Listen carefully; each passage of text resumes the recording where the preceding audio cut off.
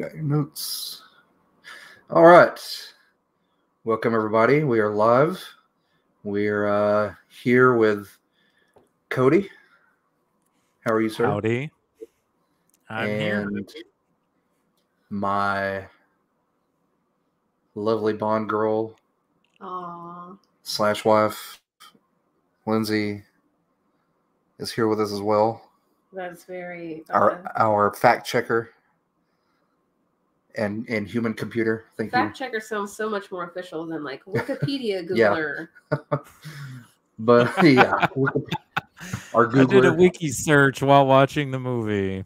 That's okay. I do that too. I read the IMDb page and Yeah. one person's interesting review of this movie.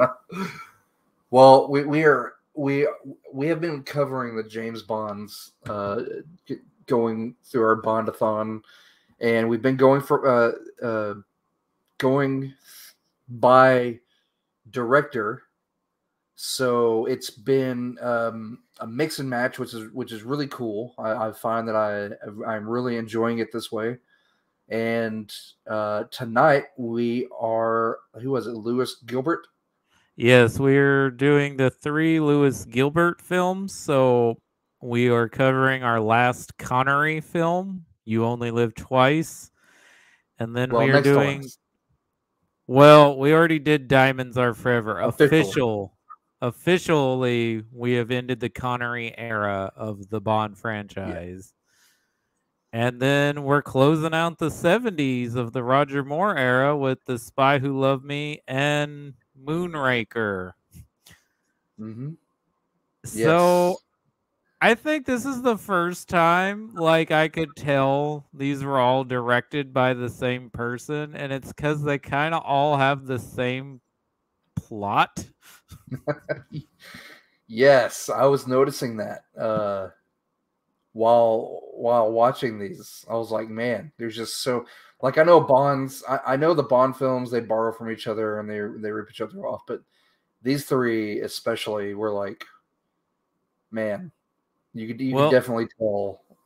All three villains have elaborate layers, right? Those are dope players.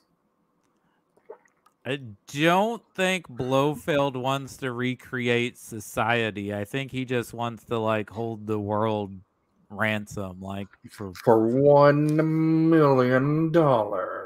So yeah, let let's get straight right into it. You only live twice is exactly the plot of Austin Powers. Austin Powers took that Bond movie and they're like, we're gonna make that into our movie. Yes. And I now again, this is one of the things that I, I do love about. Do about we get to wrap the James Bond chapter up with Austin Powers? Please, if I have to watch all of them this time, we might can do that. We might could do a standalone I'll do it by myself. Y'all don't Austin even have to be Powers. here. No, I can. I could Ugh. Just I might could rewatch raves. them. But I But could they- definitely watch one and two again. I don't care for Goldmember. Is it because John Travolta's in it? No, that's not John Travolta. Yeah, at No. the end. At the end, it is. In Oh, movie, yeah, the they it's one? cast. Yeah. Yeah. that's right. And Yeah. Beyonce's in it. Well, no, Beyonce's fine and uh Michael Caine's fine. It's just that it is is I don't know. It's getting a little too much for me. We we can they were talk about it. They were running it it ran its course and they knew Yeah. it. They were like, This is gonna be the third and hopefully the final one. We I can't mean, make as many of these as they made James Bonds. yeah. Nope. But Well, side tangent um before we get started.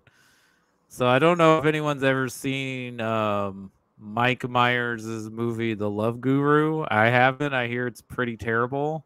I, I I have not s- I I've, I've seen bits and pieces. on it. I, I think I'm the only person who's seen it all the way through, but it doesn't matter because I don't remember enough of it. yeah. anyways, that movie flopped, and they're like, "Well, Mike, comedy's changed, and you gotta do something else." And he's like, "Well, that's my thing, so I guess I just won't star in star in movies as the lead anymore." Wow. Well, I mean, I guess way to stick to your guns if that's what you just absolutely want to do. But Well, I mean, that's his wheelhouse, you know, and like times Yeah. change, so he knew that like that's his aesthetic as a comedian. Like I Mhm. do, I do these parodies of caricatures, and apparently that's not funny anymore, or it's not in trend. So, you know, he's just sitting there counting his Shrek money, so he's okay. Right. Yeah, his Shrek dollars are still still stretching. So Don't forget how I married an uh, I married an Yeah. axe murderer. Uh, so you only live twice.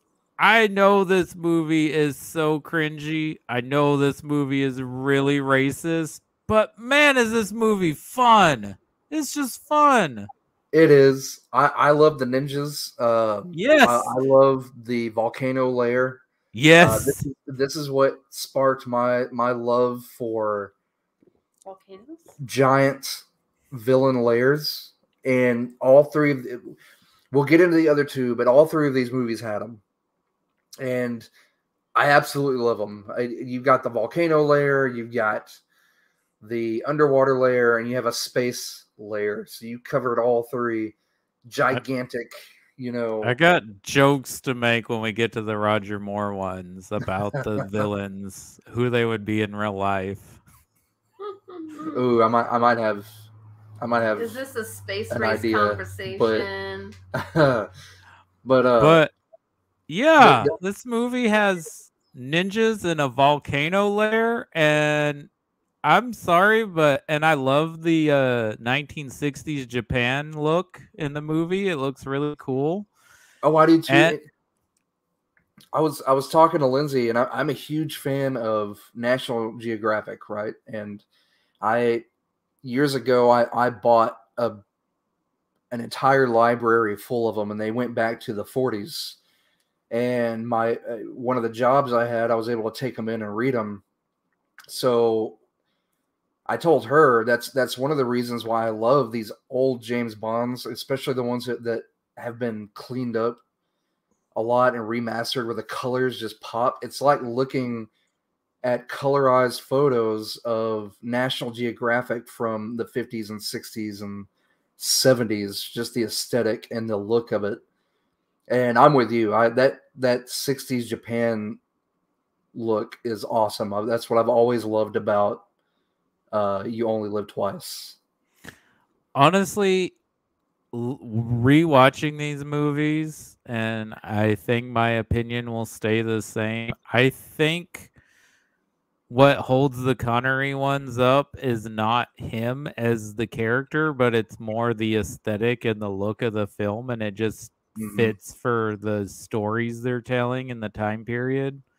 Right. I think I think it's more because yeah, Connery's a good Bond, but like I don't think he's the definitive actor for the role. I know shots fired. Don't, don't no, no. don't at me over here. I was just my honest Well, opinion. he- Slow down, Bond Bros. It's okay. To I, have a I favorite. like I know I'm trying not to rate him now, but you know, after I, s- it's after the aesthetic and the the the the photography and the fact that it's, it's a little bit more serious. At least, well, as serious as they could I mean, this one is Right. getting on the verge. It's not as bad as Right. Diamonds Are Forever, but this is where they're definitely going more into a silly tone. I mean, the script's written by Roald Dahl, of all people. yeah. oh my gosh, So that's that's why that's why we get the um the infamous yellow face. Oh yes, yeah, that's terrible. I can't believe that that was a subplot in the movie. A, like, a giant hairy Scottishman posing as an oriental gentleman was is just beyond it makes your soul cringe. It cringes Yeah. all the way down to the bone. It's like Mhm. man So that's inc- that's inc- that's incredible But- Like, can I get a Tiger Tanaka spinoff besides being just a cool name? Can I just get a spy movie with him and his ninjas?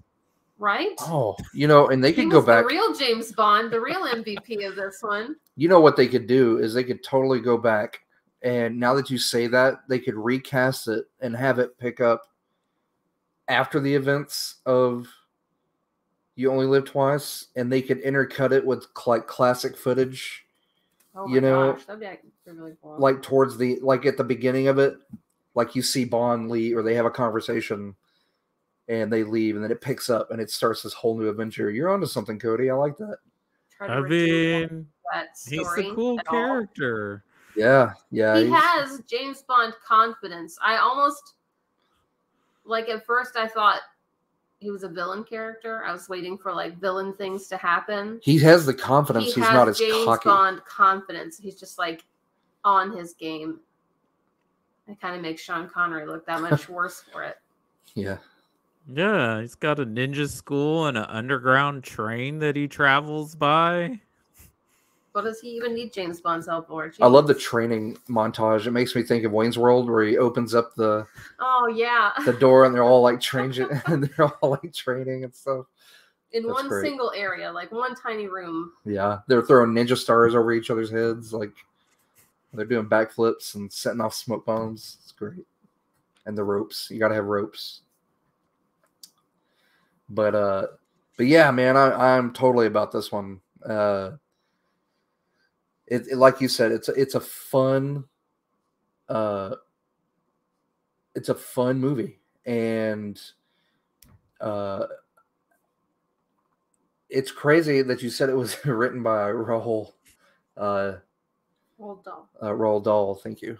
Cuz uh that I keep I remember hearing that like ages ago and then I just I I, I forget every time. And that just that blows my mind. What do we think of Donald Pleasence as Blofeld? We finally get to see Blofeld's face, the exact look they copy for Doctor Evil. Yeah, I did like because it's a um, memorable look for a villain. yeah. That I, poor cat, though, man. Every scene where things are like exploding around that cat, you could just see him like pinning the cat in his arms, like trying to Yeah. keep his villain cool. I did like him as Blofeld though. yeah, he's not my favorite, but I do enjoy him. He's having fun. He's definitely better actor as Blofeld than uh the guy that played him in Diamonds Are Forever, who shows up in this movie, which I like him much better in this role as Yeah. Yeah. Henderson than as Blofeld. And he's no Telly Savalas, so Yeah, yeah, that's that's my favorite Blofeld.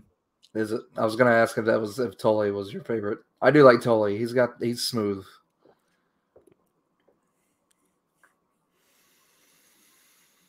But uh man, there was something else that I had that I was thinking about earlier, and I was like, I'm gonna bring that up. It'll it'll pop into my head. A little less rapey of James Bond in this one. Still, you know, not great. He's still being his misogynistic self, but I didn't see too many red flags in this one as I did in Thunderball and Goldfinger. I think at this point, you're just like, it's just like such a barrage from Sean Connery's James Bond, anyways, that you're just like, yeah, sounds The about the names were a little more tame.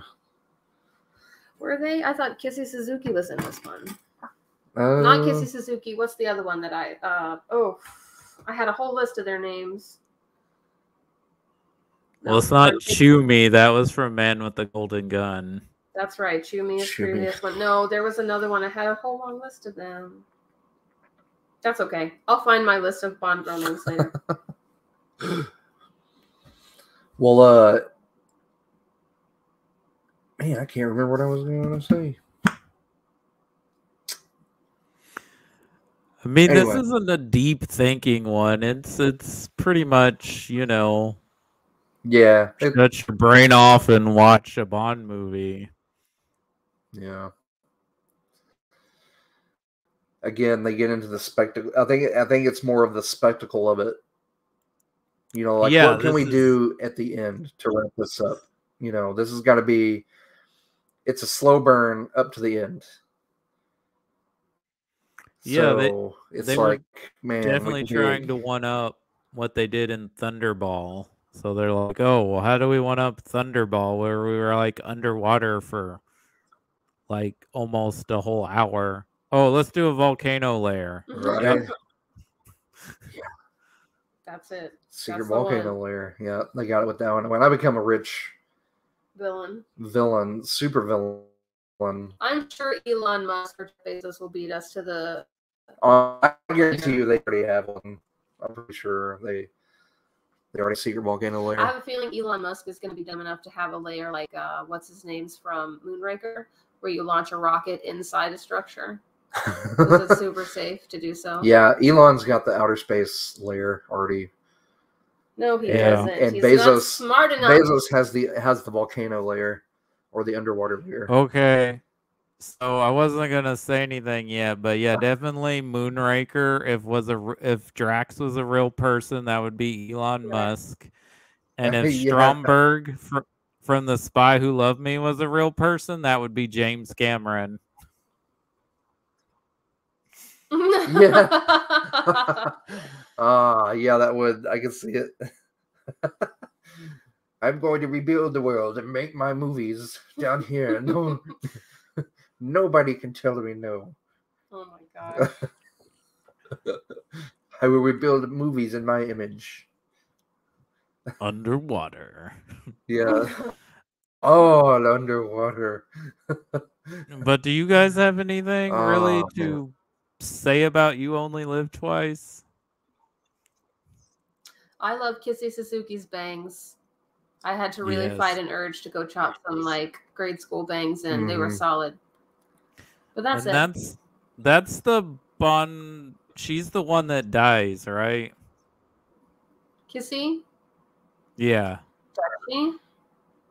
I'm getting Mm, the movie and the book confused now because in the book I I read both wikis just to see what gets changed. Does she die? I don't even remember anymore. Hold on. No, she makes it. They, they crawl into the raft at the end. That's right. Oh, she's the one that. She better ask how many other as a- ladies have been in that raft with James Bond because I know I've seen that shot before. yeah. Yeah, they repeat that a lot. So she's the one that they set up as his fake wife. Okay. Yes, and he's like, Yeah. "Well, people are gonna think we're not really married if you don't like sleep with me all the time or something." That jerk. Okay. I don't know what the other lady's name was that was in the beginning of or before that scene happens, before the fake marriage. The other spy girl. Mm. I'm gonna find. Oh, that's right. She, she gets poisoned Mhm. She does die. because they drips the that str- the poison down that string. Like she just happens to roll over. I tell you, Bond is just he'd have been dead ten times over. It's like he just lo- That there happen to be girls At this certain to time, to take yeah. a bullet or a poison string. these to the poor girls take all the death, and they Yep. either by either by happenstance or just they're they're ha- they just there. And there, Yeah, there are Bond times where he just walked out purely by or luck. or- yeah, he bends down or one rolls minute to the over or just walks out of the way. The big uh, difference between this and the book, though, is that in the book, this is the sequel to On Her Majesty's Secret Service. So Bond is like out for revenge against Blofeld in that one. Whereas they did this before On Her Majesty's Secret Service. Right. Yeah, that I mean that makes more sense.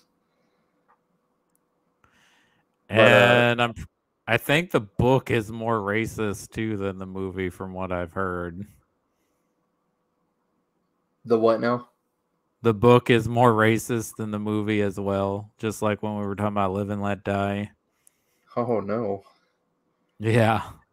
I wonder how. I, well, no, I actually I don't want to know how it can be more racist than it already is. I'll just go with the movie. Oh. Safe bet, but despite cringiness that's in this plot, I have a lot of fun with this movie. I kind of I kind of like it more than um It's actually my favorite one of the three we're watching, even though I know that's blasphemous because I know a lot of people think The Spy Who Loved Me is like one of the best James Bond movies ever made. And, and Uh, also, I kind of like it more than Thunderball. And well, no, I do like I do like I would have to say I like the spy who loved me more than Thunderball. Yeah, me too. Um, I was just- Okay.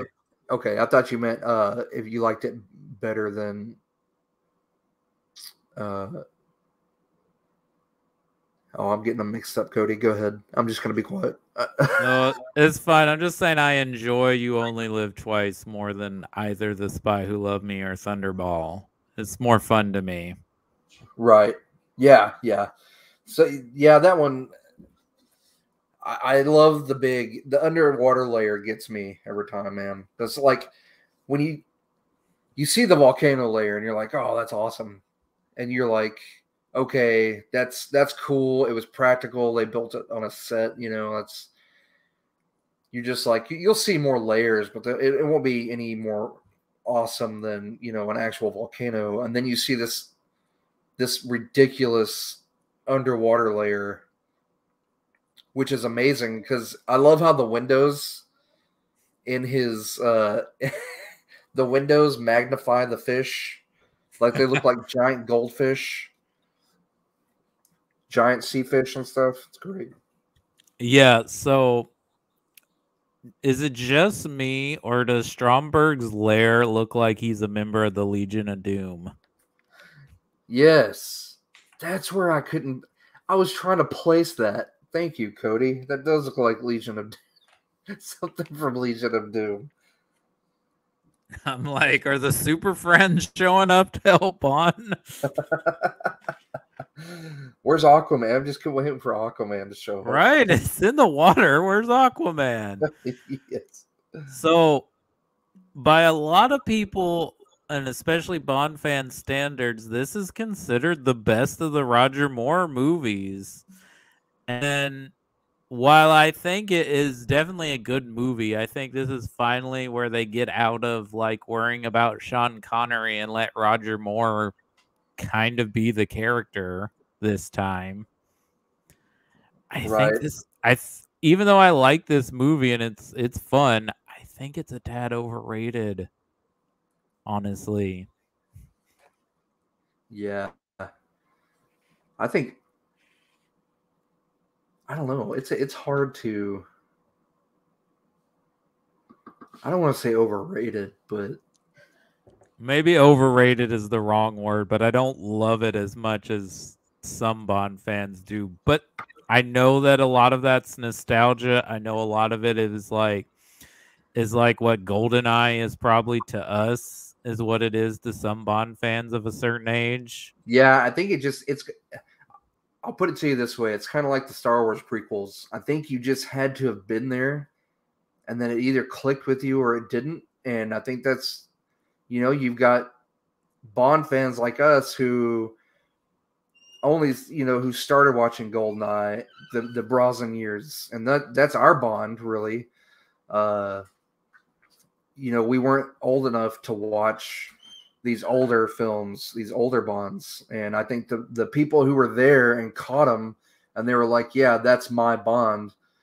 You know, you're gonna you're gonna have those people who are just diehard. Uh, you know, oh no, it's Sean Connery or no nobody, or it's you know, well, I'm all about Roger Moore, or you've got maybe the three people out there that are like, no, I'm I'm straight up, you know, Dalton, Dalton, which I love Dalton. I love Dalton too. Um, I think he might be, uh, like you said, I don't want to really rank him, but I think he might be my second favorite Bond. Oh, same here. I I liked him more than now. I liked Brosnan, but they were still playing his really silly. Like uh, hmm he's he's like he his was just a continuation of Roger Moore in my Wha- eyes. Like it just I think it's a little not as silly. I think it's like a cross between Connery and Moore together. yeah, I can see that. But uh yeah this is a this is a good this is definitely an improvement over the first two roger moore movies as far as a movie and what moore's doing as the character. I mean he's not doing really much but they're letting him be james bond in this one. Like they're not worried about like well people won't you know, accept him if he's drinking. Like he finally gets to drink a martini in this one. Right. He's not smoking a cigar. Actually, I don't think he smokes at all in this one. So maybe Roger Moore wasn't a smoker. Well, no, didn't he have the cigarettes? The one that exploded or had the, the bullet in it, the rocket. That's You Only Live Twice, where he had the Oh, gun that's right. cigarette. Now, Agent Triple X has the the sleep dust or whatever on her cigarettes. Yes, that's it. And this is a great character on paper. This is finally the first time where they try to create a character that's like of Bond's equal.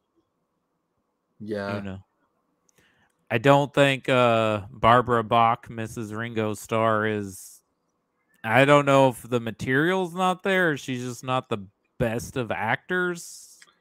Uh, Or yeah. there's like a language barrier, maybe. I don't I don't know. I'm not trying to knock her down because I think it is an interesting concept, and I'm glad you know they were trying to do. Even in the 70s, we're like trying to progress and give something more to the female character than what had been done in the past. right. But. Jaws, Jaws is friggin' cool. Oh, I love Jaws. He's one of my favorite henchmen or villains. And it's not I don't know, I just I've always liked Richard Kiel. You know, I liked him in a lot of the B movies that he did uh before this and after this, you know, but uh uh I do like his character and he d- he does kind of uh, redeem himself and we'll get into that here in a little bit. Uh, yeah. Yeah, but uh, I, I don't know if that's I don't know if that's direction they should have taken his character, but I did like him in this movie, like especially when he shows up at the pyramids. Oh, that's so cool. Like with the music and the reveals and everything. Yeah, yeah. I always liked it where he's just sitting in the dark, and then the lights come on, he's there, and then it you know goes dark again, and like you said with the music, and it just all fit really well. Yeah, that's a great scene. Uh, I love the opening. I know the opening of this movie is very memorable because he, you know, he jumps off the cliff on his skis with the Union Jack parachute. Yeah, yeah, that ski chase was pretty pretty sweet the machine guns and stuff, and and then you're just like, man, there's no way in hell Roger Moore he's too old to be doing all that stuff. ah man, but yeah, you can read you can really start telling like there are certain shots or fight scenes where like everyone around him was doing all the karate stuff and he's just kind of like Steven Seagal in it where he just kind of like throw some punches, maybe get his leg up, you know, a little off the ground, whatever. I mean, he's still got it. He's still got it, and uh, he's still he's still landing some punches and stuff. But you can tell, like he's he's on up in age. Like this is definitely an older Bond, and there's a shot in Moonraker. I know I keep jumping to Moonraker, but this it applies to this movie too, where like I don't know. There, there's certain shots of him that just really show his age, and you're like, damn. Like it showed him marching through the jungle, and you know how Bond is always poshly dressed. You know, no matter what he's doing, he'll be in a suit. You know, marching through the jungle, but uh, you could definitely tell that that Roger Moore was more of the posh James Bond.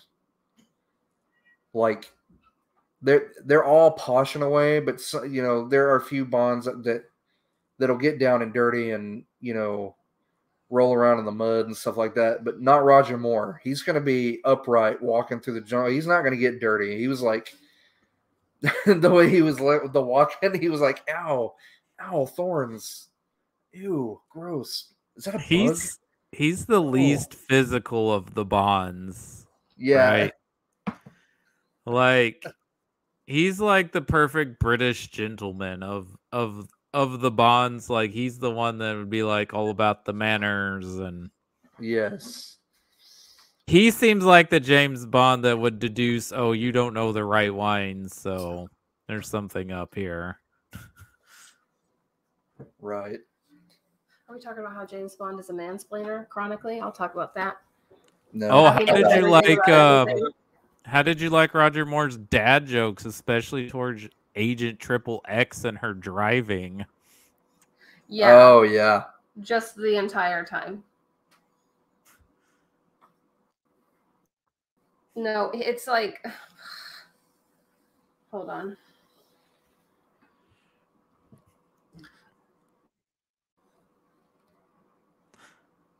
Just a second. Now, oh, Okay. now that someone has said it's like your dad being James Bond, it really does see that because the age difference between these women and Roger Moore is like very noticeable. And it's like, oh, it's like my dad trying to go out on a date with with someone much younger than him. And the way Lindsay brought up the way he's kissing these women, like he's pressing into their faces, like he's trying to, Take their Implants them or soul. yeah, like I'm like, dude, I know you, I know you're supposed to phone it in, like you're acting, and you're supposed to phone it in. He's And- taking his shots where he but he's get 'em. like- he's taking full advantage. He's like, no, I'm gonna lick the bottom of her feet. Like Yeah, I'm just, that's how exactly. far I'm gonna stick my inside. tongue down her throat. Yeah, I know. Ah man, yeah, it's definitely. I really love these movies, guys. I really do. But You once you love something and when you go it. back when you go back like i've just watched them for fun up until this point but now i've gone back to really just like soak it in soak it in for these to discuss them and to maybe pick up on things that i've missed in the past but And man there's just something new every time you revisit an old. piece Yeah, of you're just like- that makes you go. you're like what the hell how, how is this how did this get in there Well, I mean, besides that, at this point, the franchise is feeling a bit cliche, right? Even though this is one of the better more ones, you know, it's like, okay, I've seen this. I yeah, yeah, that's what James Oh, Bond yeah. does. Like, and no disrespect to, I don't think really until the Craig era they really try to make James Bond like an actual three dimensional character. I think like he's mm-hmm. just a, he's just like a dude wandering around. he's a walking boner with a drinking problem that has a license to kill Yeah, just But- the type of person you want to have that license. But I mean, like I, I he's not really doing anything. He's just like a title character in a plot that could function without him. Absolutely. Absolutely. Like especially this one. Like Triple X could have handled this all on her own. yeah And without the snide comments from Dad Bond. And I really wish, and like I know, you know, it's a James Bond movie, so he's gotta he's gotta get the girl, but like with especially with this with Russia and England teaming up and Bond had killed her love lover, like I really wish yeah. there would have been more of that uh conflict in the movie. Instead of that weird fairy tale. Oh, everything's fine. We're in yeah like oh it's okay i forgive you for killing my lover You're just too irresistible, James. yeah But uh I don't really like Stromberg as a villain. He's just kind of whatever, you know? yeah He seems mean- like he'd be perfectly neutral if people just left him alone with his sharks and his spider sea center, whatever that's well i mean he didn't want to nuke the world so right Which- to be left alone. Which I was like, oh wow, they did that in the seventies. That's pretty interesting. Like he had like an he's like an envir eco terrorist. Yeah. Yeah. I mean, I mean, granted, he just wanted to create an underwater society, but He You was, know. he was pulling for Waterworld too hard. Well, hey, did you notice that they used they kind of okay? Do you think this was on purpose or just coincidental that they man with the golden gun? It seemed they kind of villainized solar power too in a way, and they also did it with oh, like, do They- you they- think the Bond franchise or Hollywood was like trying to like, because you know this was going on in the seventies with the energy crisis. All right. the ga- those hippie the- tree hugger terrorists and- out there. Yeah, They're gonna so- blow your whole family up.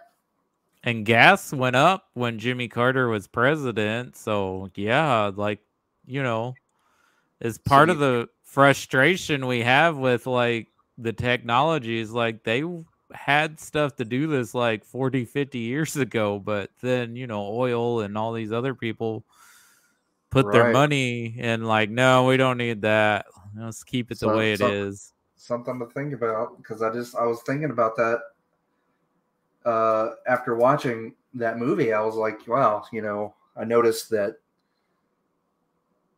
or actually, I noticed that when I was watching uh, Man with the Golden Gun, and I, I don't think I brought it up, and I think I was meaning to. I just didn't think about it. Was the fact that they were they were kind of villainizing solar power in a way by doing that because he made he made a comment and i'm gonna have to go back and find it bond did about solar power and it was Hmm. like a disparaging remark like he was like oh well you know solar power will be the death of us or something something along the lines of that you know? Just a little spit on the clean it, energy. it was yeah it was it was kind of like a dig at the clean energy.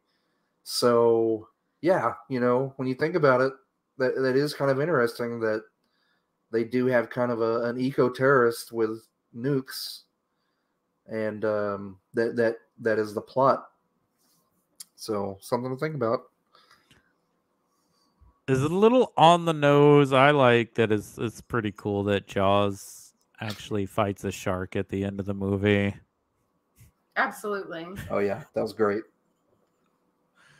that was good stuff That poor fake rubber shark.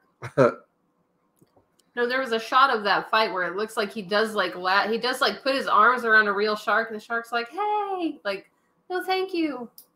Then Yeah, it's a thank- fist fight. he bites into the shark I know. Poor baby. poor Richard Kiel i heard that mouthpiece was like It makes my mouth hurt to watch. like, to any wear, yeah. like it hurt his mouth really bad Tell me why. excuse me tell me why his character didn't get to speak the entire time until right before you think, oh, he's gonna die in outer space. Yeah. Oh at That's the end of jumping ahead, but That moonraker really bugs me. That he doesn't get to talk the entire time. He's just this big, muscly, scary metal mouth man. And then Uh, you hear his voice and you're like, he could do audiobooks, he could do radio, he could do anything.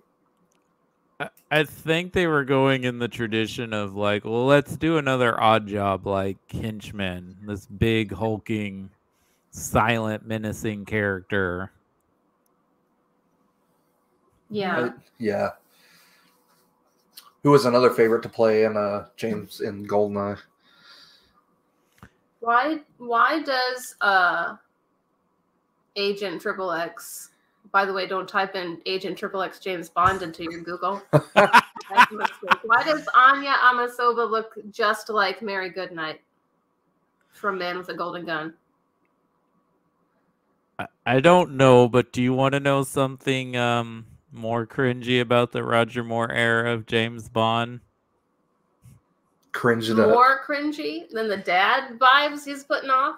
Mary, the actress who played Mary Goodnight, Britt Ekland, who was married to Peter Sellers, is the young is the oldest Bond girl in the Roger Moore era. Besides, Whoa. if you call, unless you count Lois Maxwell as Moneypenny as a Bond girl, because she's the same age as Roger Moore. She is I told the you- Bond girl. Yeah, she Yeah. started getting that old lady hair in this one in uh, Moonraker, Were they and uh, Was that to make her look older to show time had passed? Because we could all tell looking at Roger Moore's face that James Bond got a lot older from the last movie.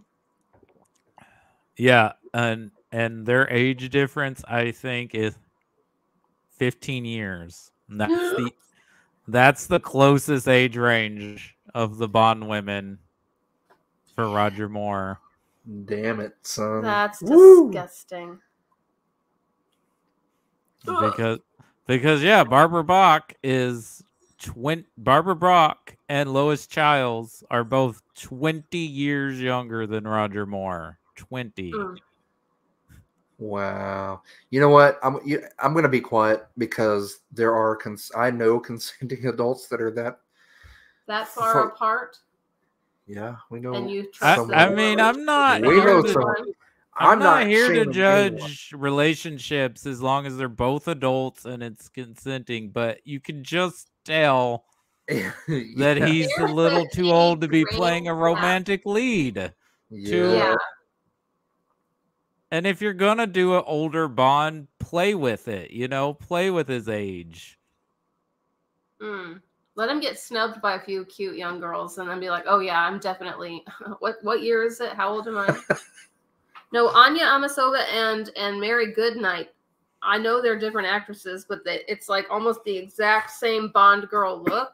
Mhm. And then you move on to Moonraker to uh, Holly Goodhead, and it's just a tiny Oh, little Lordy. shift in their look, but they're still they have the same hair shape and silhouette. They have the big twiggy eyes, the big blue eyes, which I'm sure was the thing. But three whole movies in a row, we couldn't get anybody that looked a little bit different.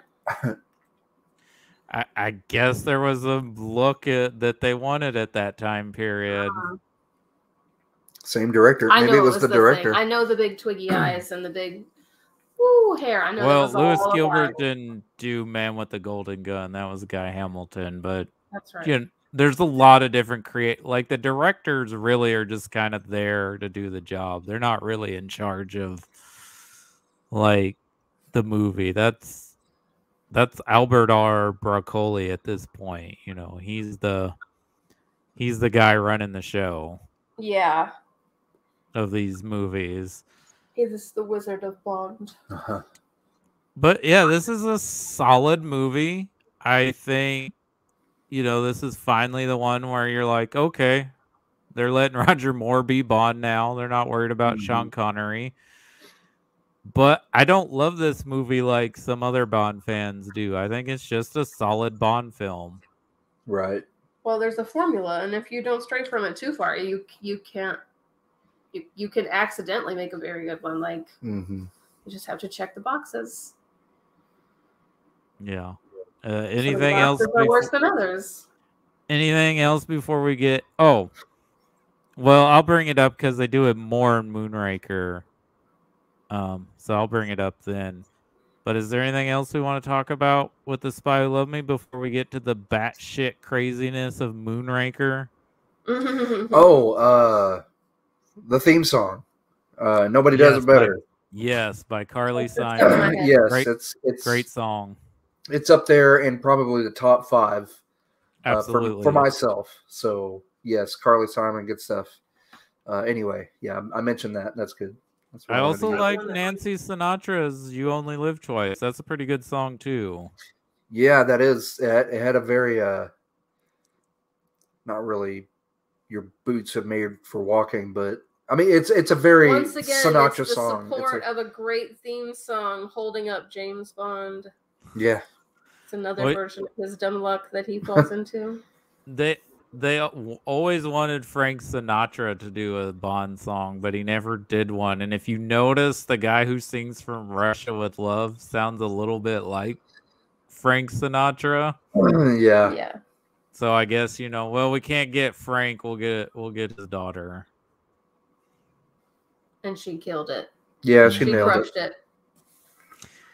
So speaking of songs, the great Shirley Bassey, who's probably did the best Bond song of all time, and Diamonds Are Forever is pretty decent, but God bless her and God bless them trying to make a song called Moonraker because yeah. It was uh, just the time they they ended on disco, you know, the outro was a disco version of that song, so you can know you know the time period it was in.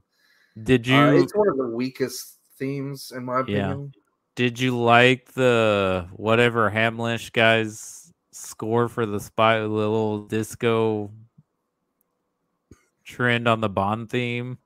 Oh yeah, yeah. I enjoy all of that. Um, again, it to me, it, it's the whole aesthetic of, of of getting to watch these by decade is is one of the best parts to me. They're little time And, capsules. just like, you- little, I was I was telling Lindsay, I was like, it's fun to see James go uh, James Bond go from uh, a tapered, well fit tux into a '70s bell bottomed leisure suit with those lapels. leisure suit tux.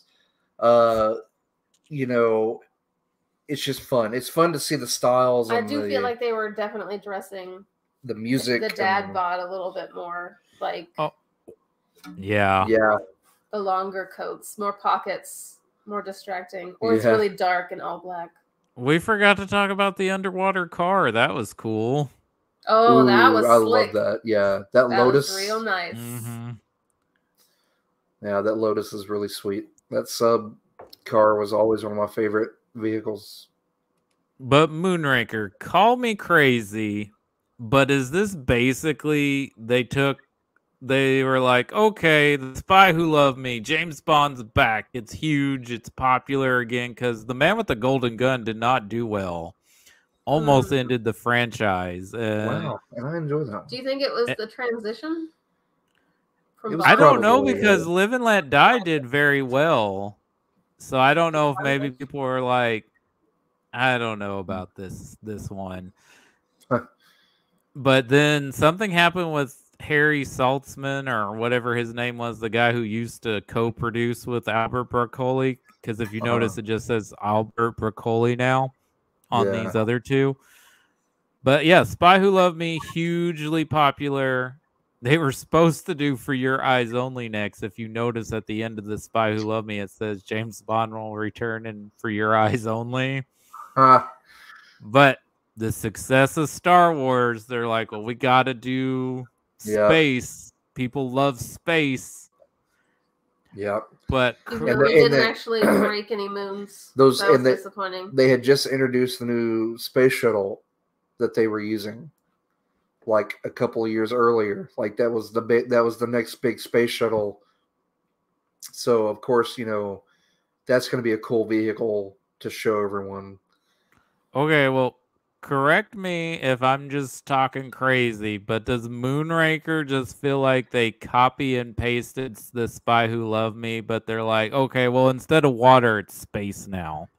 Yep, that's pretty much. Pretty much. I He feel like it's the same movie, Yeah. except they double down on like, they double down on the silliness, like, because in the Spy Who Loved Me, we got the guy who does the double take, right? When they come out of the ocean Yes. on the Lotus With with the his wine. wine. They did Mhm. it again in Moonraker, but everybody's He's the- doing a double take. Even a friggin' pigeon did a double take. I saw the, What the a well trained pigeon. was Where is like, that oh, pigeon's acting no. award? Yeah, they definitely. It's like seeing recycled animation in Disney movies, like yeah. Robin Hood and 101 Dalmatians and Jungle Book. All those that you can find. Winnie the Pooh. That was in the 70s too, though. That they were. Yeah, they just were just like, recycling. eh, you know, same idea. Well, it's like them bringing back Sheriff Buford Oh T. god. Justice or whatever the fuck his name was. You know. Oh yeah. God. Let's uh, uh Yeah, and it- then Tabasco Sheriff from Louisiana. so you know, The Spy Who Loved Me is not it's kind of a more um tapered Roger Moore movie compared Mhm. to these other three. Maybe that's why it's the popular Roger Moore's because it is kind of a more tame. But there's one instance I forgot. I didn't know it was in the movie, and it made me roll my eyes. Is when they're walking in the desert and they start playing the Lawrence of Arabia score. Yes. And they do this. I think there are at least three movies they reference in Moonraker. I think they they play a little bit of 2001 in here. Mhm. Yeah. Of course, there is the close encounters is the password to get in. Mhm. And then they're playing the Magnificent Seven theme as he's riding a horse and have him dressed as if he's Clint Eastwood. Well, And that's why Those are actually captions because not to sound like Cliff Clavin here, but those are actually Chilean cowboys, and they do dress like that. And they, Okay, but why is Roger Moore dressed like that? Well, I thought that he had to like ride with them, maybe, but yeah, it doesn't really make any sense, does it?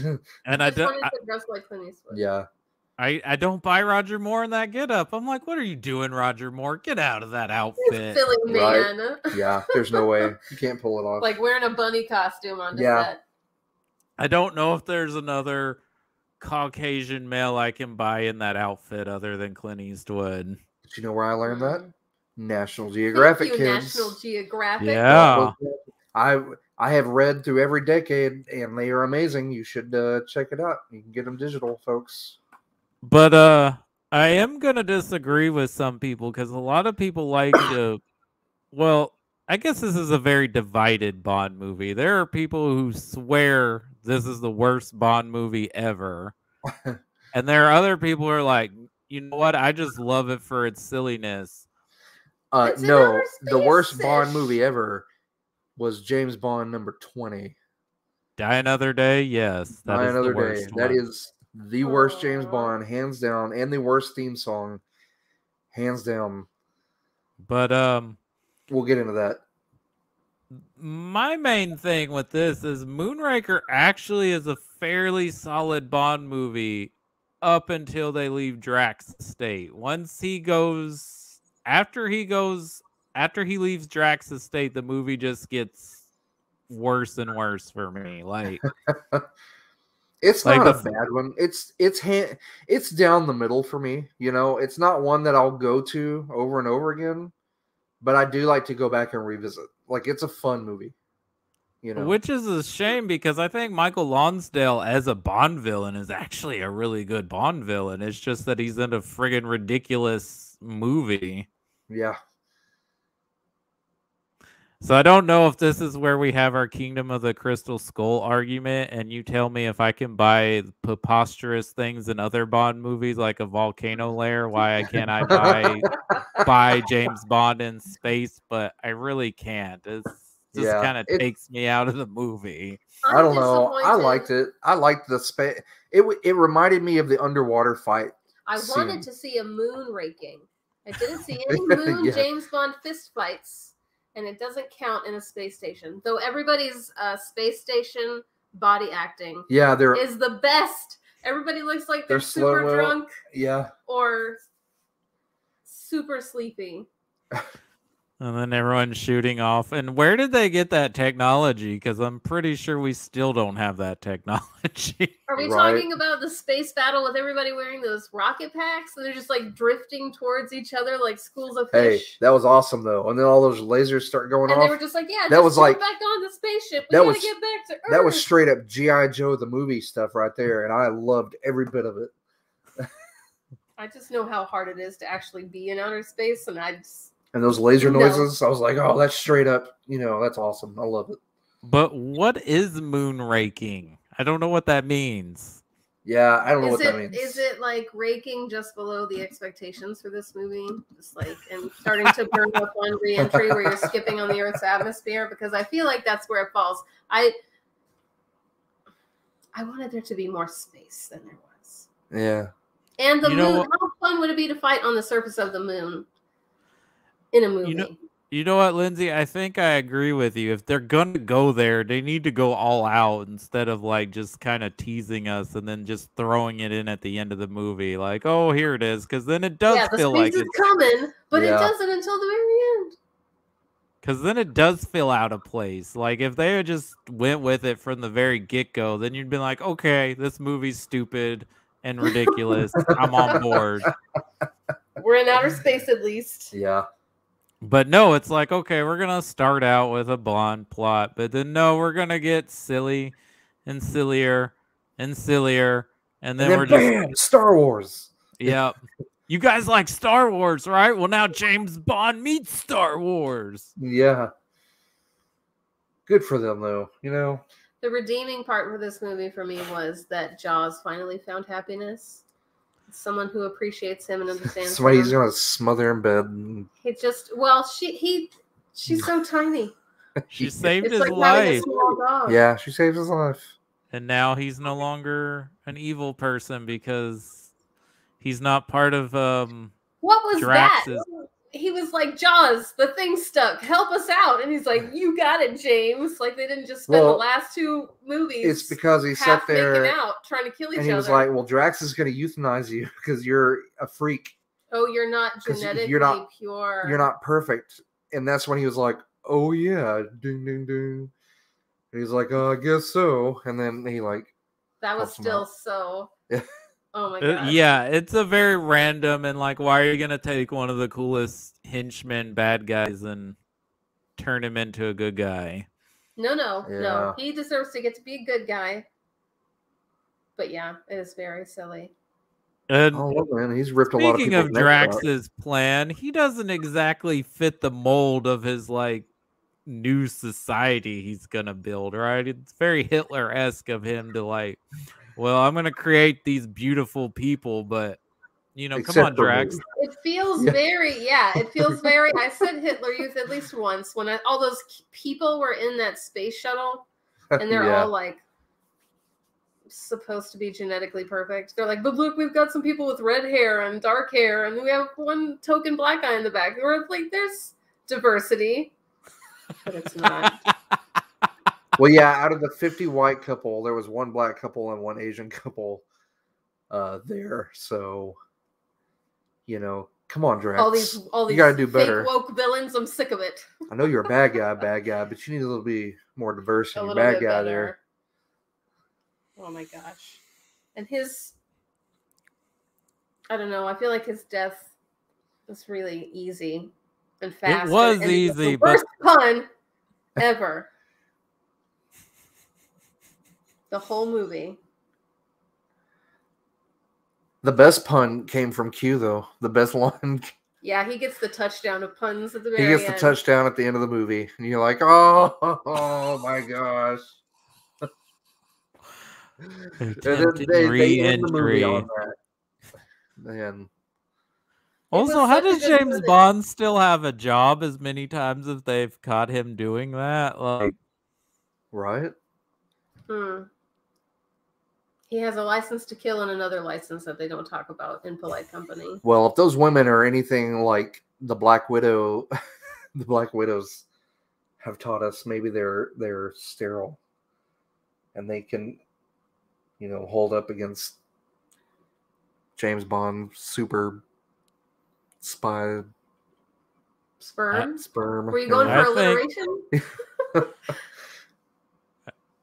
I don't want to upset anyone, but I think if James Bond had to actually fight a Black Widow, I think James Bond would get his butt kicked. It Oh, would be would. the Yeah. biggest butt kicking. It would be over so fast.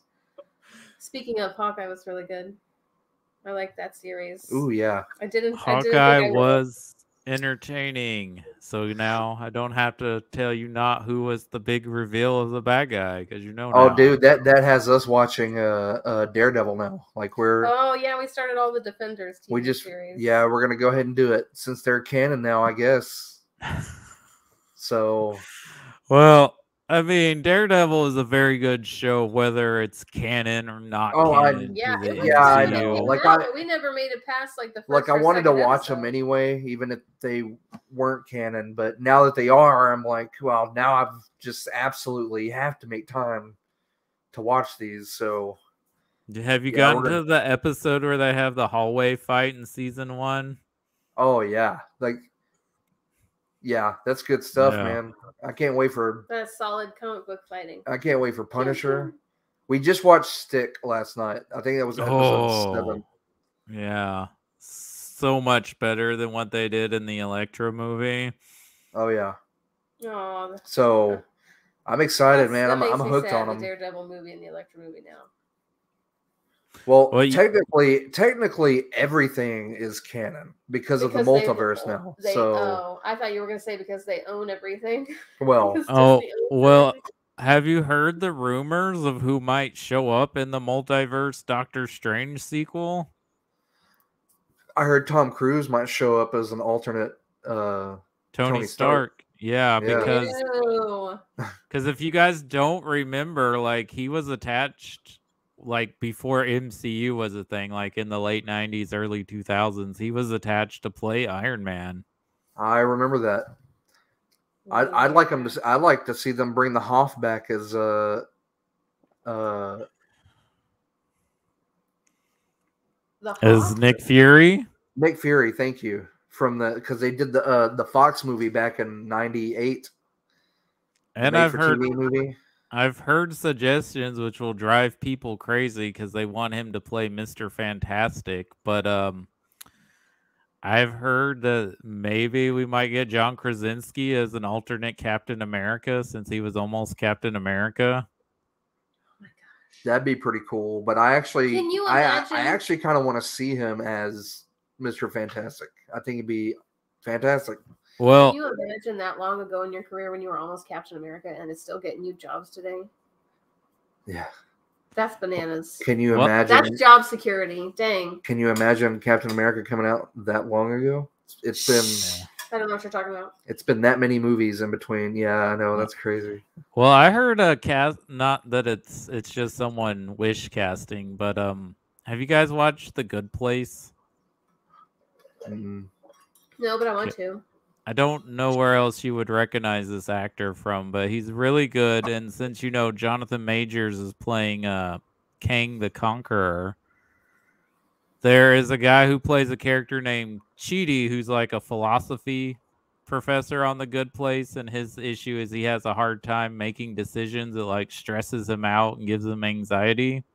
hmm They someone suggested him to play Mister Fantastic, and I actually think it would be cool. That's cool. Mm. Want to look him up? Well, we just And- have to watch The Good Place because I want to. Yeah. Yeah, you should watch it. It's a it's a really good show, and it's actually a feel good show. So, That's cool. uh, I'm waiting but for waiting for Spider Man. I haven't seen that yet, and I have I have managed to avoid spoilers. I know who comes back. Obviously, I mean I figured that out. You've in- been on the internet. yeah. yes, but- Topher Grace comes back.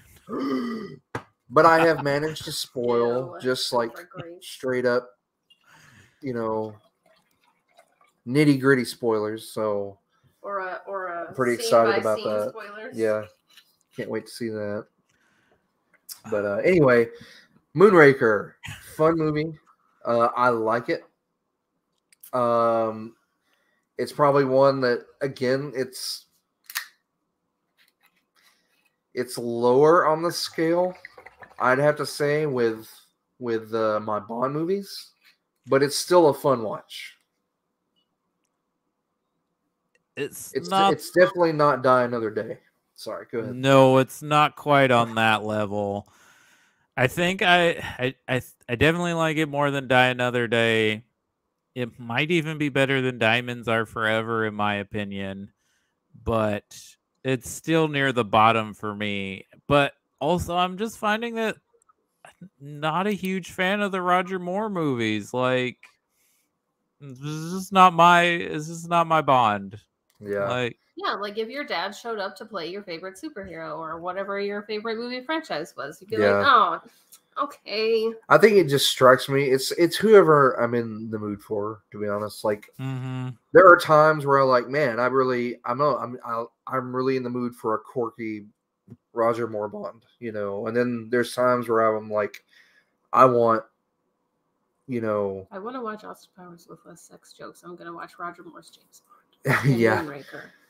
you know. But it's, you know, they're they're fun and they're definitely a product of their their time, you know, the '70s. So, uh, and early '80s. So Yeah, yeah, because he Which is he's got three more movies, guys. He's got three more movies.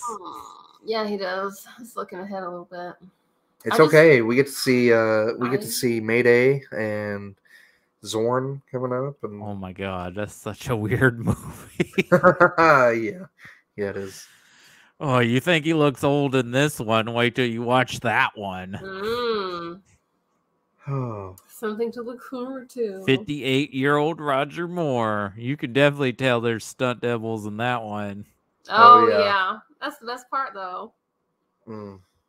I just want to say that my feelings are hurt that you hate Die Another Day because that was like the only Bond movie I ever saw come out in theaters. oh. And it was like the first and only. I remember being so disappointed because I'd watched, I thought, I remember thinking it was cool. And now I'm Look, like, man, I'd been in there since I, dumb. I'd been in there since what '96 with Goldeneye That was 95, but yeah. or '95, was Die and Another then we Day we Pierce get up to Brosnan's Roger Moore phase as Bond? Is that what you're saying to me? it was Ultimately, yes.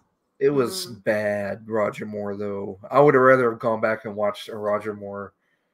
But I remember going to the theater and I sitting there, and I was like, Halle Berry was first cool. off, maybe that's I first mean, off, this- the theme song hit me wrong. Like, I did not like that theme song at all.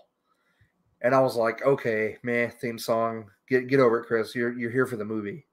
That's you not can- a good sign you though. can if the whine- yeah, the- the theme song was kind of in trouble already. Yeah, the theme song was not a good sign, and uh, I started getting into it, and I was like, "What the hell is it?" Because it's supposed to be his last movie, you know. Well, It- it ended up being his last movie. It wasn't supposed to be his last movie. Oh, see, I always thought it was supposed to be his last. No, it was see- big number twenty, and they was, you know, they were, you know, he Daniel was, he Craig was is- older.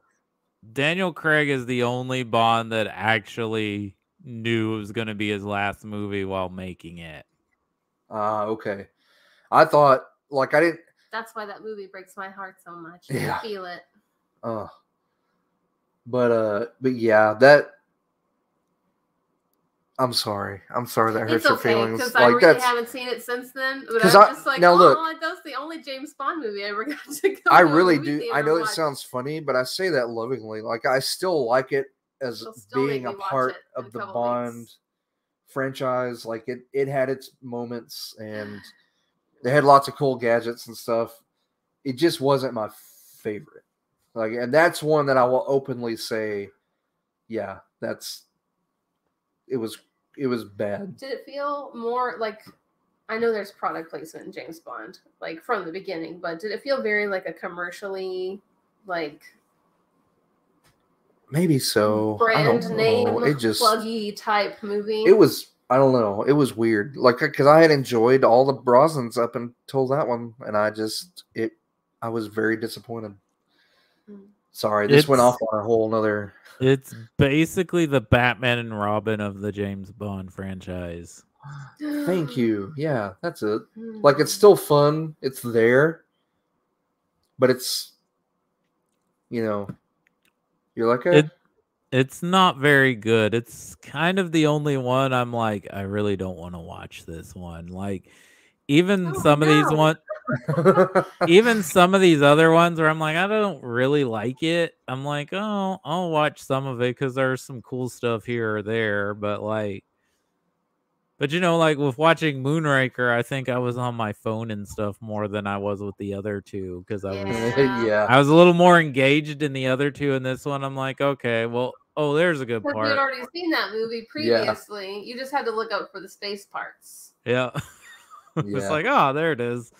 Uh, and I Yeah, mean, they do have that movie. s- savage kill of that one lady with the dogs. That was pretty bad.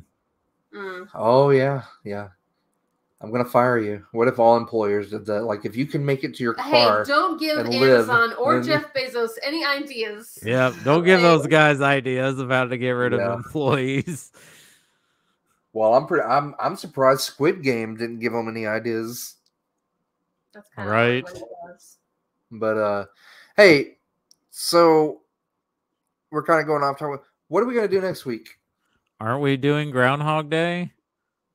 That's right. It is coming It's up. February. Yeah. Wednesday's Groundhog Day, and I suggested you On guys watch. Groundhog Day, right? Yeah, Yeah. I suggested you guys funny. also watch Palm Springs. Well, let's. Palm Springs. That's right. so we wanna do- that down already. We want to do a, a double feature, a Palm Springs uh, Groundhog Day double feature. Yeah, that sounds good. Um, I'm okay because I know I we had also mentioned Edge of Tomorrow, but we don't have to do a triple feature and also that's tomorrow. Uh, we just watched that not too long ago. I don't remember what that is. I'm already writing it down. Remember, he has to relive the ba- this battle over and over again. They have these big mech suits, and it's Do you know what? it's good. It's There was- is no better time than right at the beginning of February to have an existential crisis, so we can go ahead and watch all three. Are you sure? You don't feel that way when you watch Groundhog Day or any of those where you're like, you get the same chance over and over and over, and what are you doing with it? Oh, That doesn't What do you- you, in the dead of winter? Just me? what do you say, Cody? Do you have time for a triple? You don't have You to know, watch it, but maybe we'll watch it just because you mentioned it. it's fine. Yeah, I just gotta find. uh I guess I'll have to rent it online because. oh, don't go, don't like put yourself out. We'll just watch it just because you mentioned it, and we'll be like, yeah, it's a theme we're doing for this Yeah. week, anyways. But we don't have to like I can. I'm either that or I can get it psychoanalyze to it or you. anything. Yeah. They all have the same theme anyway. I think Mhm. that's so. Yeah, I'm that'll be. you, that'll that's be a great fun. win- winter movie marathon. Yeah, And can do that. then it's supposed so to be we have- so we'll take a break from James Bond for at least two weeks. Unless unless Lindsay, you want to do your birthday picks like after your birthday, because I know your birthday is on Valentine's Day, right? I don't even know what day that is yet. Hold on. I need to learn what day that's on. You do. It's not your birthday. Why do you need to learn? I just forget that I have a Uh, birthday until it gets here. It's a double whammy. It's your birthday and Valentine's Day. That just means you lucked out because you get a gift on my birthday. Um, do yeah, I'm fine with doing them after. That's fine with me. You want to do it? So you want to do it? The 16th. You want to do it the 16th instead of whatever that Wednesday before is the 9th, I think. Yeah. That just gives me more time to really think about it. Okay. So do you guys want to do the weird Sean Connery double feature the weekend between then? Yeah. Yeah, let's do that. Okay, because this is what I'm thinking for our next because we're going by director based. Uh huh. Since the next one is on Her Majesty's Secret Service and Peter Hunt only directed that one, I kind of want to pair that with um, No Time to Die. Yeah, we could do. time to We could do that. That'd be So- fun. So I feel like if we're gonna do that, then we got to kind of go way forward and cover the Craig era because you kind of have to kind of have to cover all those other movies where you get to No Time to Die.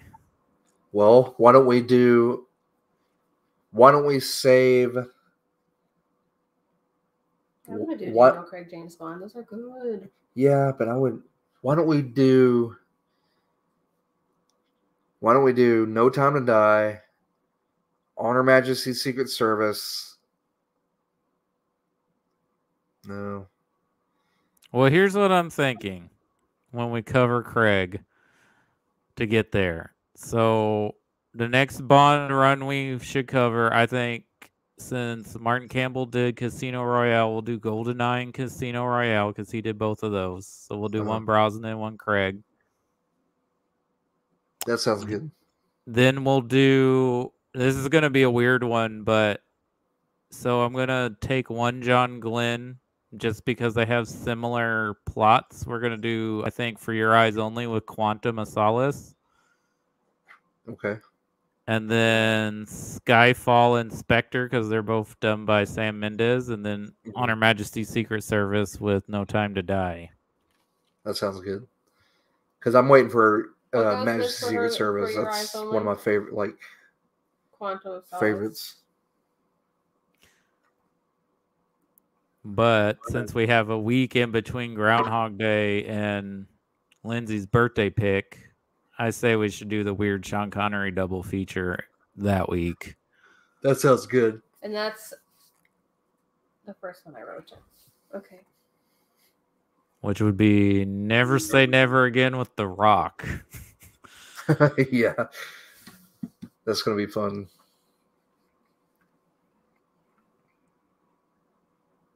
Okay. Just me typing these all on my my my phone. The only thing I remember ever. All right. Well, yeah, we will. uh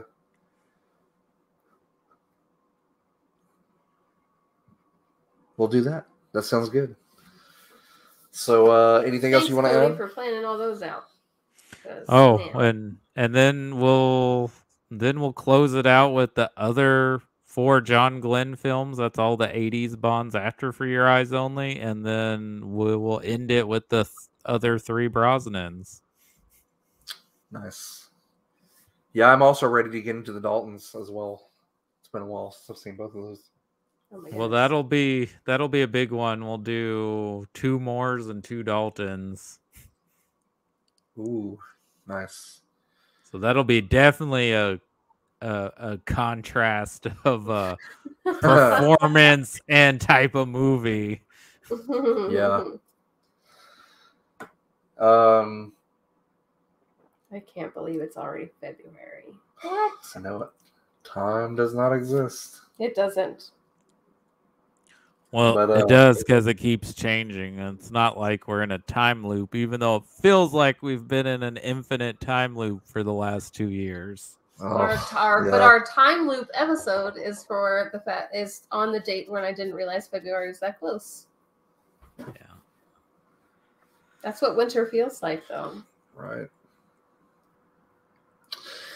All right, guys. Well, Cody, as always, thank you for uh, joining us. And if anybody listened, we, uh, Do you mean thank you for indulging us? yeah, indulge. Yeah, yeah, you really, uh, we learned a lot, and we've watched a lot of James Bond here lately. So, We have we have covered ten films in the franchise, even though we still have fifteen to go.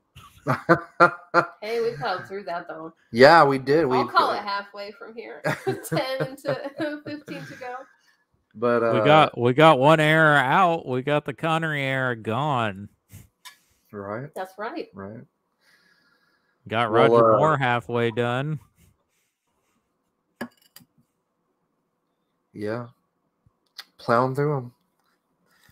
We're But laying uh, we're laying the the foundation, right? For anybody who wants to learn about James Bond or watch James Bond, you, we've covered the first era.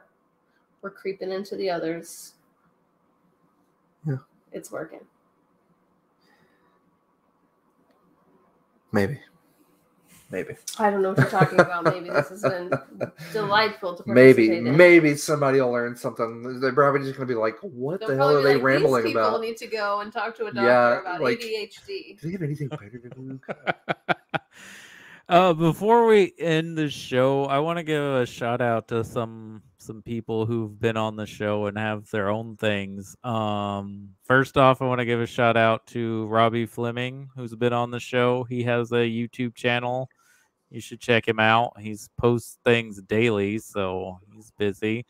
Uh, Justin Doyle, who's also on Flim Robbie's show on their YouTube, The Fleming Show. Um, he also has a worthy view where he reviews movies for like a minute on TikTok and YouTube.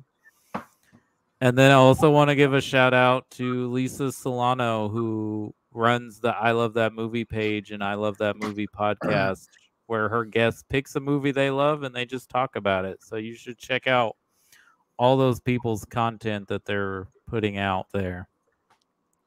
For sure. They're I've- I've met great, all- awesome people and Yeah. totally worth the follow. Yeah, awesome peeps. So and entertaining for sure. Just So- delightful. Anywho, all right, guys. I guess I'm gonna go ahead and uh, we'll sign off. Say goodnight. Um, we're shutting down the lights. We're closing up. You do not have to go home, but you can't stay here. is Gotta go they used to watch. Some other people ramble about something on the internet. That's right. You Exactly. gotta, you gotta start scrolling again, finally. Uh, uh, all right, guys. We will see you next week. Oh, oh man, real quick. Anything coming up this weekend? Yes. Um Friday. Robbie, I guess, is just our guest for the month of January. He's gonna come in and talk Okay. the fr- the it's French. French January. Yeah, he's gonna talk the French Dispatch with us. If you guys are available, we're doing that Friday afternoon at 1 p.m. our time. I will double check, but just in case we we haven't seen it yet, but I've got it on queue. We'll watch it uh, uh, tomorrow night to prepare, and hopefully we can uh, be there. If not, I understand. No worries. It's you know, it's just that six hour time difference. So Yeah, no, I totally, uh, totally get it. So totally understand. But okay, well, cool, and that's it. Just uh, just Friday. just Friday, and then we start. We start pretty much what's gonna take us through most of the year. We will start our Ridley Scott slash Coen Brothers series in February. Cool.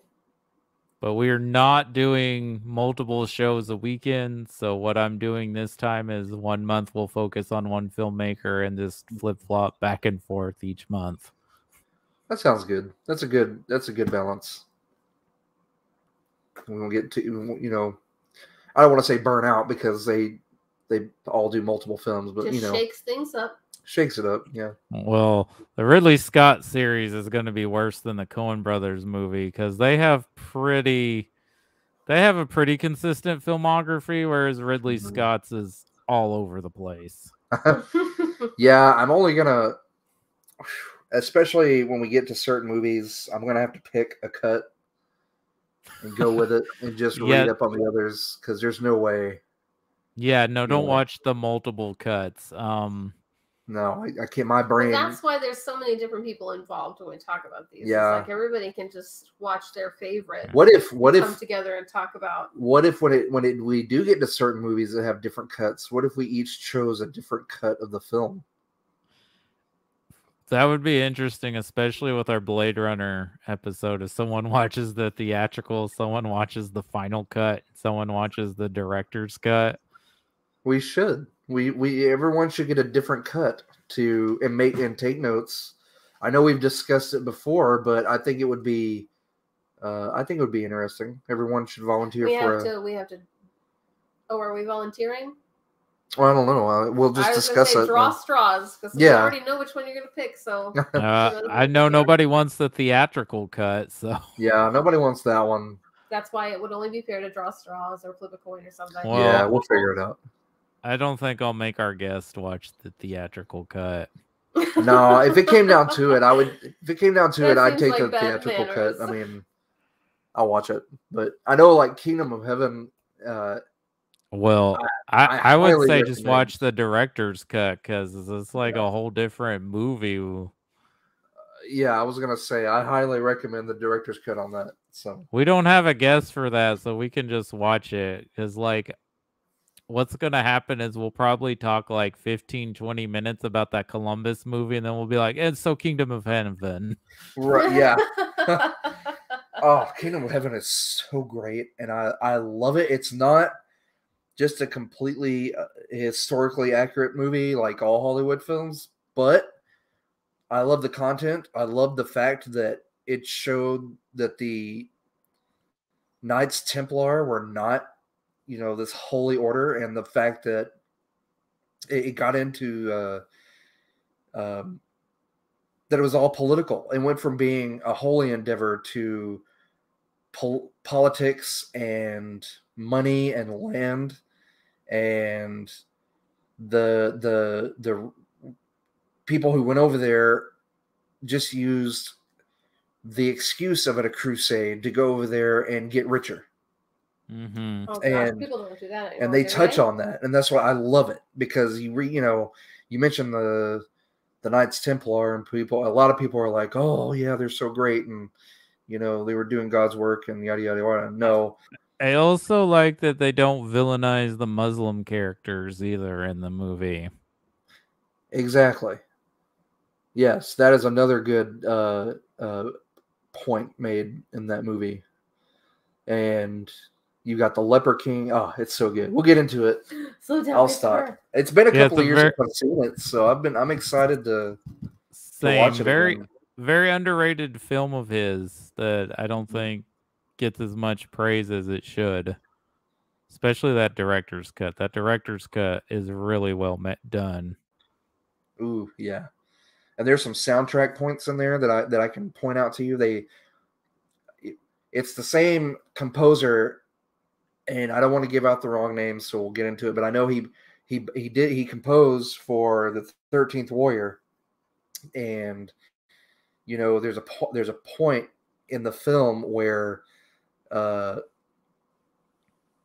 Orlando Bloom's character is giving this, you know, this big speech, this big inspirational speech. They have to defend the wall, and you can hear the Thirteenth Warrior cue uh, a theme cue up behind that, and I was like, I remember sitting there like, oh, oh, Thirteenth Warrior, and people were like, what, what? I'm like, no, you, you can hear it. It's Thirteenth Warrior, and we were like, you're crazy, man. I, I haven't seen that since it came out, but I liked it when I saw it.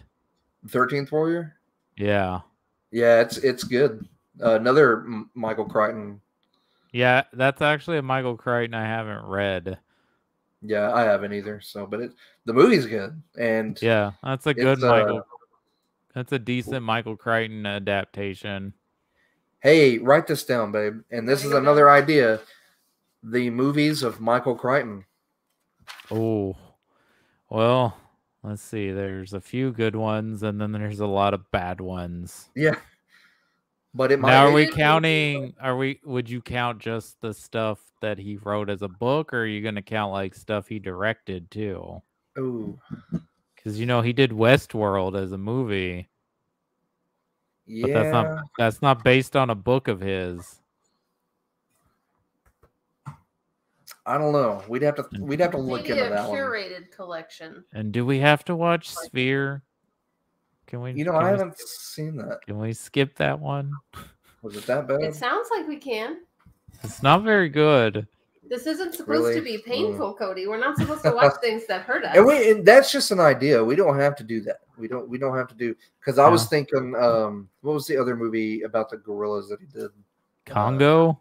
Congo. Uh, I, I remember that being decent, but I know It- it's considered bad. it's a decent bad. You know, it's a. And then if you want to talk about a racist movie dealing with Japan, there's Rising Sun. Mm, Mm-hmm. And then think I- I've got that on VHS, and I remember seeing it when I was younger. Like I mean, like my parents renting it.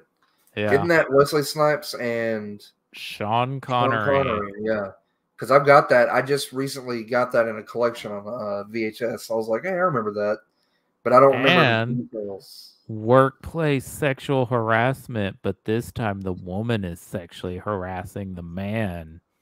Disclosure. How Oh no, he did Michael Crichton. Yeah, it's based off a Michael Crichton book. Also, the Andromeda strain. That's older though. Oh yeah, I'm trying to think. I didn't see uh what is that called? Time something. Oh Where they, uh, where they go back to medieval. I read the book, but the I heard the movie was awful. Where they go back to medieval It- times. yeah, it wasn't the greatest. Um, yeah, I know what you're talking about. I think that's like Gerard, Gerard Butler and Paul Walker. Paul Walker. Yeah, I Yeah, can't remember what it's called. Is time something? I think that's like the last book of his that um like got adapted to the screen. ooh, I can see why. womp womp. You know, he also helped create ER. oh wow. Yeah. That's crazy. I never, I That's never got into impressive. ER. I'm, I'm. I don't know if There I've are plenty of hospital dramas to get involved in. look when it comes down to You kinda TV just shows. gotta grab onto one and pick that and follow that. growing up, um, I, I, I never latched on to any like court dramas or cop dramas or hospital dramas. You know, I was like, I'll just go watch a, a recorded TNG for the fifth or sixth because, time. Because they both worked for TDC and one was a nurse, so we had to watch all of those shows. And I have uh, a cop relative and another nurse relative. It's I, all I, I got into Scrubs though. I, I thought Scrubs was pretty fun. Speaking Uh. of courtroom dramas, did you guys know they're bringing the original Law and Order back? Oh, why. I don't know because It's I still on TV. You guys don't miss it. It's still there. I It's still guess playing. because Dick Wolf's like my my uh, spin-off series can't last longer than the original series. It Because what is it okay. called? What a I always name. I always get the letters wrong. I know it's I think it's SVU. I always say SUV, which is wrong. That's SUV, Special yeah. Victims Unit. Yep. Yeah, that that has been on over 20 years now, so it's outran the original Law and Oh. Order. Good on it. It was the superior Law and Order.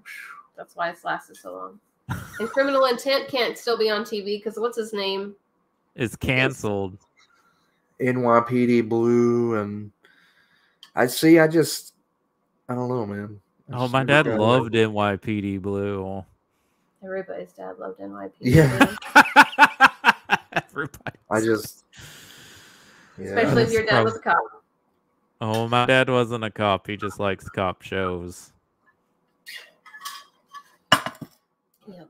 Now he likes now he likes Yellowstone and Longmire. Oh, my dad's gone down the Yellowstone rabbit hole. the Yellowstone Road. He's a.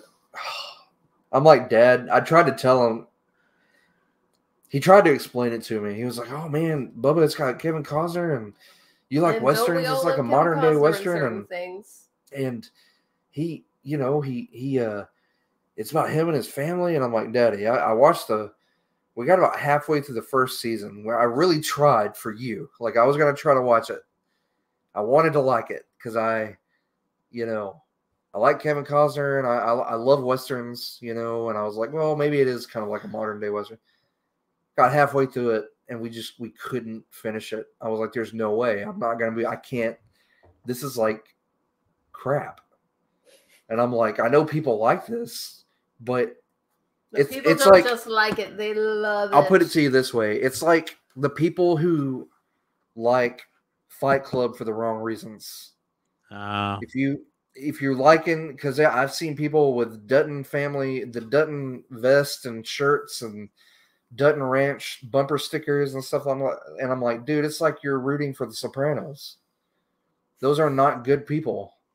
Like they're you- all they're all dirtbags or they're all pieces of shit people who who make bad choices. who and make hurt each bad other. choices and hurt each other and they hurt their their own family and you're you're you, you're like calling these people heroes and i'm like i don't get it i just uh, changing subject. Have you guys watched Encanto yet?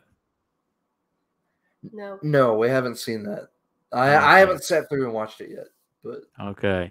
Well, you should watch it when you get a chance. It's on Disney Plus. Um, it's a really good movie with good music. Because I was gonna make a joke, but you haven't seen it yet, so you won't know the is it joke. that we don't talk about bruno yeah, I was gonna say don't there. get- i don't i don't understand it but i've seen it like Yeah, everywhere. it's it's I'm like, everywhere now. But you know, there are two things we don't talk about now, and that's Fight Club and Fight Club and Bruno. Bruno. but yeah, that's my that's. I'm sorry, by the way. Like, I mean, I I maybe he likes it. You know, if he does, good for him. Everybody needs something to enjoy. And again, I really, I sat there and crapped on something after I said I wasn't going to crap on somebody else's stuff that they like. But, but damn, Yellowstone's just not It's not for you. It's okay. not It's for me. okay. Yeah, It's not me. okay. But apparently, it's a huge demographic for 70 year olds because not only does Oh. my dad. My dad love it. Like somebody he used to go to school with, she was texting him like when we went and visited for at Christmas time. Like, have you watched Yellowstone yet? I'm like, oh my god, they're like in a text trend about this. Oh, yeah. Yeah. Yeah, About and that their show's Yellowstone. rough too, dude. That show's that rough. show is is the, the same reason that I won't watch other very popular series. It's just too mean and too heavy, and it doesn't. There's nothing mm. nice happening. And if I wanted to see like a weird, awful sibling rivalry like that, I'll just watch the Righteous, righteous Gemstones. At least then I get to laugh a little bit about how awful it is. I guess I need to start. Well, I need to watch all those shows because I haven't watched any of them. Oh, dude, you have got. If there's one show that you need to sit down and watch, and that's the Righteous Gemstones. I haven't seen that or the Vice Principal show or Watch I've that only Oh, That's seen, too. Vice Principals is good too, especially you've seen uh the Fat Man, and if you if you're gonna watch Righteous Gemstones or you've watched Eastbound and Down, you gotta. yeah, I've only Vice seen a few episodes of Eastbound and Down. We got up to the third season, second season, or third season. Third season sounds generous. I know we didn't get that far into it, but if you like Danny McBride, it's pretty great. Danny McBride stuff going on in Righteous He- Gemstones he Apparently, grew Vice up. Principals. I'm gonna send you something that he like. HBO did a little, this little uh featurette for Righteous Gemstones, and it, it- he was talking about how he grew up in West Virginia, in the church, and his mom like did puppet show. Him, him, His it- family started a puppet ministry. yeah. so they they're were like doing- the Bakers. No, not the Bakers. It was just kind just of. It's a weird like Baker's. There's a I just watched The Eyes of. Tammy Faye a couple of weeks ago. I didn't realize they did puppet shows. oh yeah. Yeah, but there is that nod to the puppet ministry and like starting out with like youth outreach and stuff in the church in Righteous Gemstones. Yeah, he pulls a lot of that. and He apparently grew up a lot of around a lot of the the big mega churches that were coming up at the time, and so he kind of, I guess, he kind of came from that that religious background. But it is like if if you're religious, don't go in, don't go, don't watch it. Like, and even if you are, and you can keep an open mind, then please watch it because it's hilarious and it does it does shine they it's comedic but they also shine a lot of light on the The culture. The culture Mhm. yeah the, the mega church culture It's and very it's very specifically American ministry for money, culture, but the- it is the ministry for money aspect of it Mhm. and it's great Well, now that they've released the stuff out they came out about Joel Osteen, now I want a Wolf of Wall Street style movie about Joel Osteen. Yes. yeah Yes. Okay. If you want that, then you have to watch The Righteous Gemstones as a primer because hmm that sounds like an inevitable biopic we're all gonna get. they are that is yeah that's a good way of putting it that righteous gemstones is basically the wolf of wall street version of Of evangelical, like not these mega televangelists. yeah televangelists and almost it's- evangelical, it's- that's different. That's very different. it's good stuff Well, just Sure. just the fact that there's cash in the walls, I'm like, that seems like something they did in the Wolf of Wall Street. Yeah, Yeah. that sounds like some organized crime stuff going on, Joel. yeah Ugh. Well, we definitely got off topic, but that's okay. It happens. yeah all right guys do. we're gonna go ahead and uh, call it a night and we will see you guys friday and if you're coming back for the wednesday show we'll see you next wednesday Yeah, we're gonna be stuck in a time loop talking about some really good movies. Yes and if you come back for the other show uh, come back wednesday uh, for the wednesday show and we'll see you then Yep. Yeah. Uh, have a uh, good night. Thank you guys for watching. This will be on YouTube, Twitter, and Facebook. And um, yeah, stay safe and don't listen to Joe Rogan or Aaron Rodgers. Uh, yes, and do listen to some. Uh, uh, do listen to some. What's his name? Because they they pulled his music. Yeah, go listen to some Some Neil Neil Young. Young. Well, Yeah. Neil Young pulled it. Neil Young pulled it from Spotify.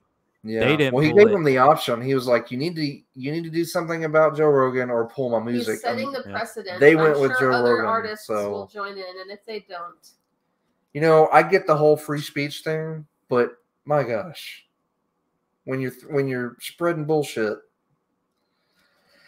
Anyway, all right. Anyways, I just I just wanted to say that. But we don't want to get on our uh, soapboxes because it's almost one o'clock in the morning. But yes, that's get not off my soapbox soapbox. That's how we feel. But please stay safe. Have a good night. Actually, listen to actual doctors. yes, Doctor Oz. Oh, God.